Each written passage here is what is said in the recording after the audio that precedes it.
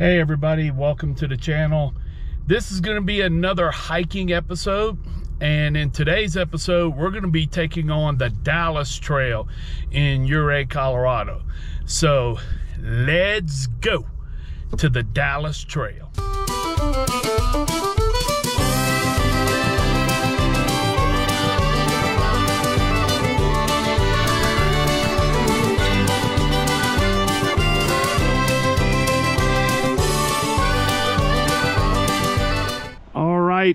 I made it to the Dallas trailhead. I'm gonna go up and sign in on the book. I've also let a couple people know that I'm going up trail today. That's always a good idea when you're going hiking to let people know where you're going what trail. And it's always definitely a good idea to register and sign in a book. Here's uh the trail sign. It's kind of dark. It says uh, Dallas Corbett Loop, six miles. And here's the book where you sign in. Uh, let me get a little breakdown on the trail. I believe AllTrails has this rated as a moderate to difficult hike. It's about a seven mile there and back. The first half mile is the hardest from what I understand because you're just going straight up the mountain. And then once you crest and get over the top of the mountain the trail kind of levels out a little bit. So uh, also equipment. I've packed plenty of water. I've got some snacks. Learned my lesson from the perimeter trail uh, about maybe bringing something to eat. It kind of refuels you I have some O2 because still having some trouble getting adjusted to the climate.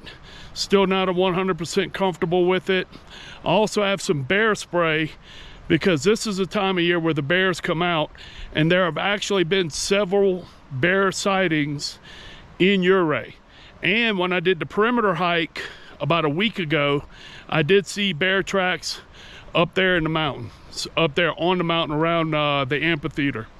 So I have bear spray, plenty of water, O2, my cell phone, and got my earbuds in to listen to some good tunes heading up the mountain. Some John Denver kind of stuff.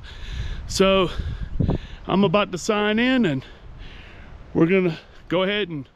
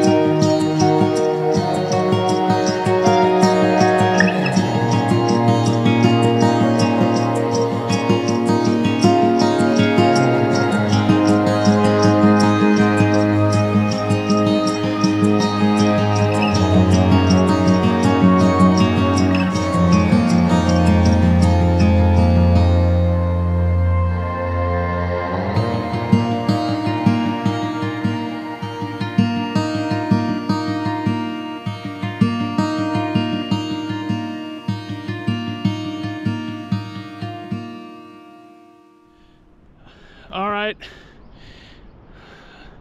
little update from the trail. Uh, according to AllTrails, I've been on trail 32 minutes or just over 32 minutes now. Three quarters of a mile in and 360 feet of elevation gain.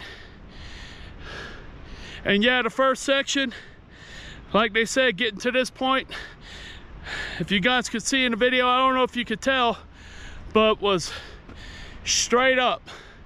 So the Dallas Trail Ouray section kind of puts it on you from the jump start. So far, the altitude's not really messing with me. I'm out of breath from doing that first section going straight up. So I'm kind of on some rocky kind of overlook. The Uncompahgre River's below me. There's like a gorge. Can see, I think, the beginnings of the amphitheater. Beautiful so far, beautiful hike. Not too bad. Uh, I'm go ahead and show you guys where I'm at right now.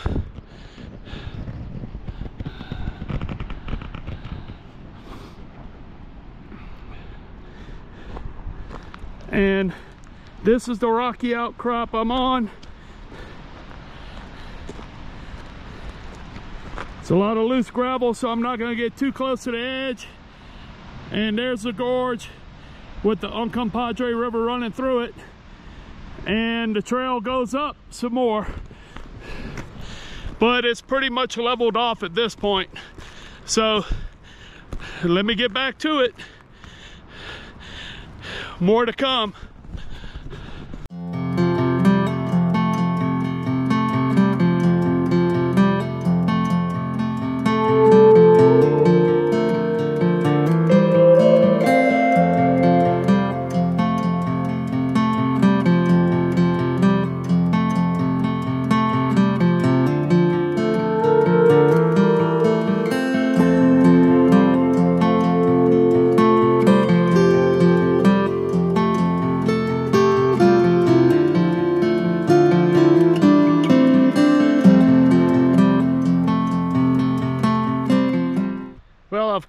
Made it to a little bit of a junction and uh, one of the work campers that uh, I work with at the KOA here in Ouray told me that the Corbett Trail is actually nicer than the Dallas Trail.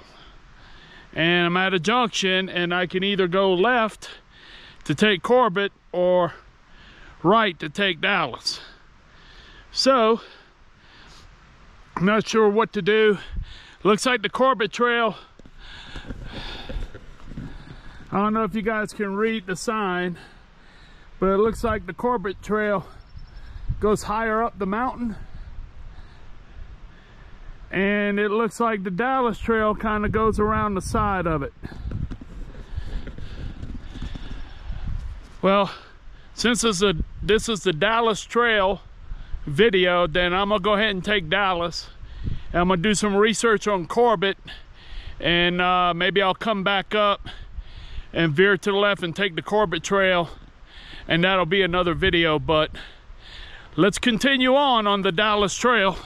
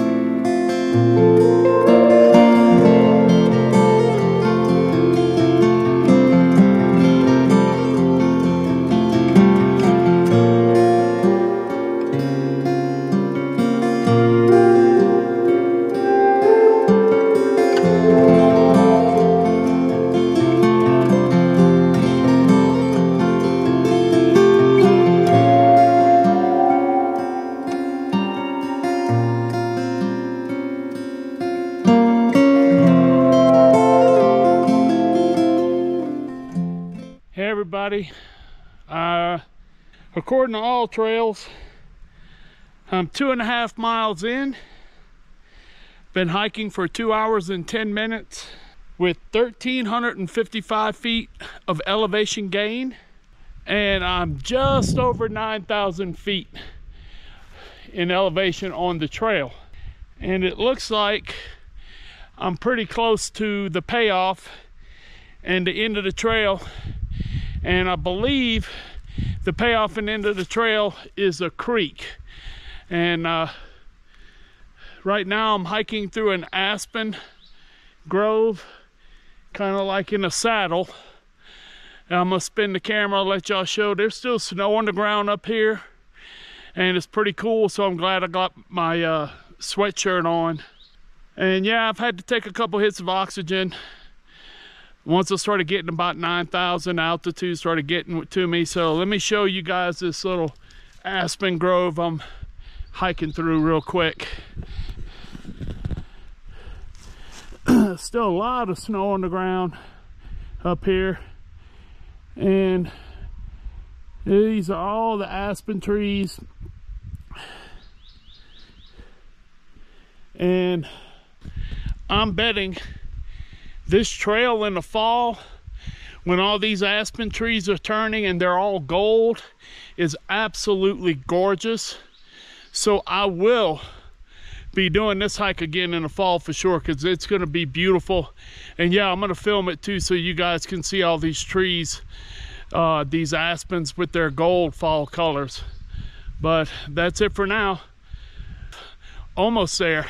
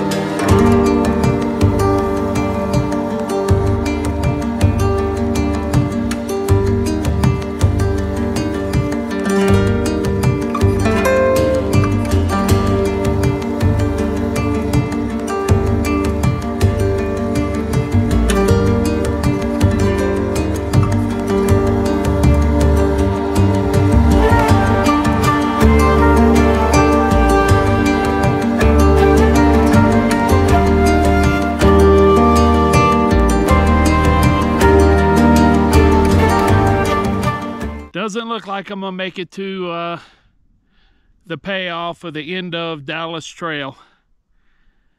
I've used up about half my water and still got a probably a good ways left to go. My military training and you know water is important when you're out on mission and I've used up half of mine. So I'm at the point where I got to turn around. But I know now I definitely need to pack in more water. I need to get a CamelBak for my backpack for sure and bring additional water. Uh, the only problem with that is my pack was already about 35 pounds. Toting in all that water just makes it even more heavy. But this has been a spectacular hike. It's been a challenging one. It didn't defeat me it was just poor planning on my part. So I will be back and I will conquer the Dallas Trail with more water. The views have been spectacular, but it's time to head back down. I'm gonna eat my trail snacks and start heading back and uh, give y'all some shots heading back because sometimes on a hike or actually on a hike you need to turn around and look behind you because the views behind you can be just as beautiful or more beautiful than the views ahead of you. Let's see where i'm at right now. According to AllTrails i'm 3.4 miles into the trail. Been hiking for three hours and 40 minutes. 1936 feet of elevation gain. And right now I'm sitting at an elevation of uh, just over 9,400 feet. That's it for right now. I'm gonna eat my trail snacks and start heading back. It's been real, been a great hike. Even though I didn't make it to the end, it's been a great hike. Let's head back, keep pushing. Oh, let me show y'all the view. I don't know if y'all be able to see it too good with all the aspen trees, but this is what I'm looking at right now.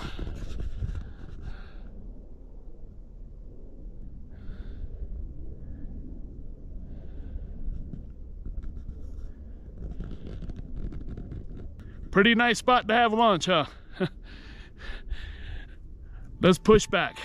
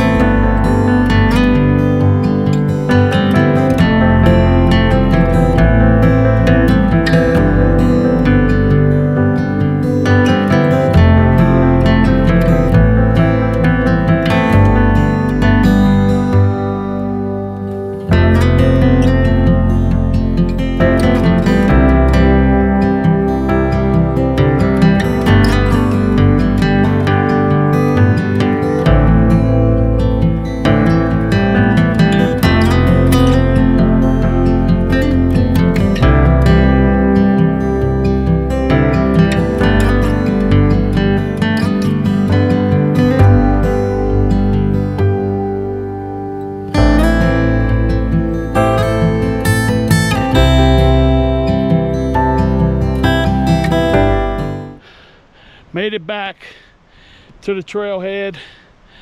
Just got finished signing back in on the registry book. And I like to do that as a hiker. I like to sign the registry book when I'm on trail and when I come off trail. That way if anybody checks the books they know I done I came and went. Overall impressions of the Dallas Trail, the Ouray sector. It was a yeah, it was a moderate to difficult trail. For the most part, it is upward the whole way. I didn't make it all the way to the end. I ran short of water and that was poor planning on my end. But next time I will make it to the end of this trail. There were a lot of muddy patches from snow melt and I had to do some snow crossings at the higher elevations. Snow so deep it was up to my thigh. So I've learned a good bit. I'm sorry, I'm pulling up AllTrails to give you the stats on this. Let me see, give me one second. All right, all trail stats. Time was six hours and five minutes. Distance, 6.56 miles round trip. Elevation gain, 2,083 feet. And recorded highest elevation, let me see, was a little over 9,400 feet was the highest elevation I achieved. If you don't have AllTrails Plus and you're gonna do some hiking, I highly suggest it, AllTrails Plus. That uh, they're not a sponsor of the channel, but there was a couple of sections in the hike that had a bunch of down trees from beetle kill.